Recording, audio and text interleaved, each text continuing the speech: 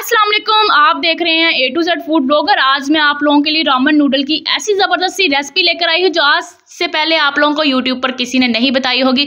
आप लोगों को ये रेसिपी बड़े बड़े रेस्टोरेंट में खाने को मिलेगी, लेकिन यूट्यूब पे आप लोगों को इस तरह से बता, का कोई तरीका किसी ने नहीं बताया होगा। तो आज मैं पहली बार रामन नूडल बनाने का असली तरीका बताने वाली हूँ, जो आप लोगों को पाकिस्तान में बड़े बड़े रेस्टोरेंट में खाने को मिलता है। तो यहाँ पर सबसे पहले हमने जो टमाटो कैचअप है, वो तीन चौथाई कप लिया है और दो टेबल स्पून हमने यहाँ पर A B C sweet sauce के लिए हैं।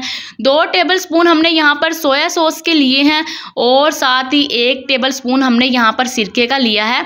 एक टेबल स्पून हमने यहाँ पर हॉट सॉस लिया है। दरदरा मिर्च हमने एक टेबल स्पून लिया है। वन टी हमने पेपरिका पाउडर लिया है।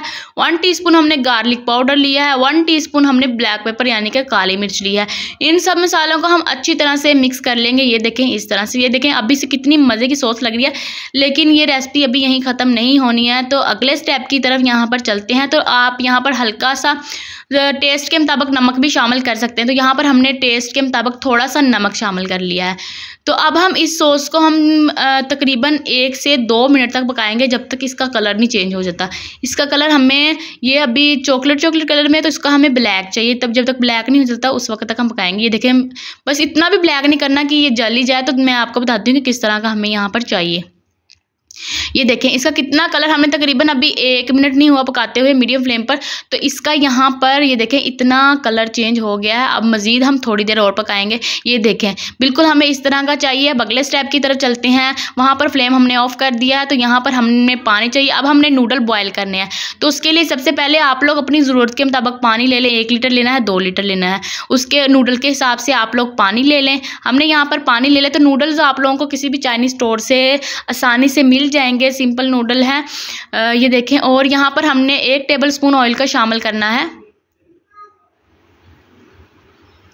नूडल को हमने अच्छी तरह से बॉईल कर लेना है। यहाँ पर हमने ऑयल का शामिल कर लिया, एक टेबल स्पून हमने ऑयल शामिल कर लिया, और साथ ही हमने नमक शामिल कर लेना है। एक टीस्पून हमने नमक शामिल कर लिया इसके अंदर।